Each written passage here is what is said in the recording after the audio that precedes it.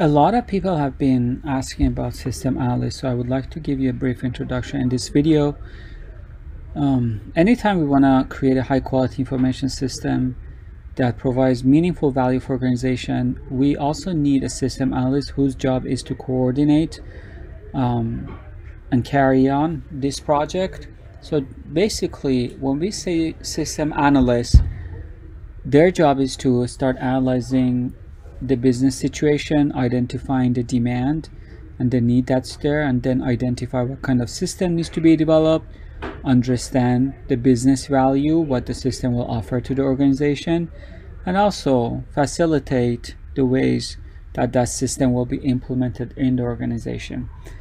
The way I would like to think about system analyst is an agent of change, which again, it has to coordinate a lot of activities. So when you think about it, your job as a system analyst would be to talk to technical people. These are programmers, um, network designers, system architect designers, and also you need to talk to business people. You need to talk to managers. You need to talk to CEOs and CIOs. And a steering committee, you need to convince them about the value of the project. You need to get the budget for this. And also your job will be to talk to outside vendors, external consultants, anyone who will be involved in implementation of this system project. So as you guys can imagine, a variety of roles are needed for a system analyst. You need to be people oriented, you need to be good with people, a lot of social skills, you need to be a good project management, that's absolutely necessary. You also need to be business oriented. You need to understand the requirements of the business, what's the need for the business. So somehow a lot of people see system analyst and business analyst as complementary roles in organization. So you might need to develop skills regarding that. You also need to be technical to some point. So you need to understand the code, you need to understand the infrastructure, you need to understand databases and um, kind of tie all this in together. So the past that's common, you get into an organization either as a business analyst or system analyst. If you're more technical, your role will be more toward infrastructure anal analyst, database analyst, network analyst, and eventually you can become a software architect manager. But if you come in with that business angle, you will move toward the, the path as a business analyst and eventually a change management analyst, which are both valuable, but depending on your skills, depending on your interests, you might follow different career paths. And this interesting diagram also shows that this is a job that is here to stay. So if you look at the, the jobs that are um, least likely to be automated, a computer system analyst or manager it sits among the top where it is not only not likely to be automated, but also it pays fairly well in that scale.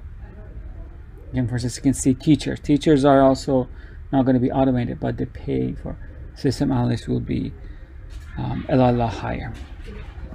This also is evident by if you look at the numbers of at how much a system analyst will make as a starting salary. For instance, 85,000 as a median, top 25% will make over uh, 120 and it's number one job in um, number one IT jobs in uh, Business uh, Week.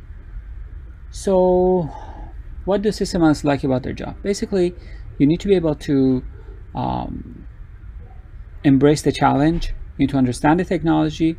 You need to understand the variety. You need to be able to deal with constant change. You need to be a problem solver. So, from all this, you might imagine that if this job suits you or not, because it won't be for every personality. It's very interesting, it's very dynamic. You need to be able to manage a lot of frustrations that comes from working with managers, lack of communication, um, increasing demands, stress, burnout, ever-changing business environment, ever-changing technology environment, unrealistic deadlines. Um, and in order to be successful, there are some skills and attributes that you need to seriously con consider if you want to follow a career as an analyst. So you to be a well-rounded person about knowing about technology and also business. You need to have a lot of soft skills in terms of negotiation, critical thinking, decision making, facilitation, influencing people, as well as a service-oriented mindset, meaning that you're going to be able to work with others, help others, make sure that everyone comes together in order to deliver this project. And the more technical skills you have, it's always more helpful.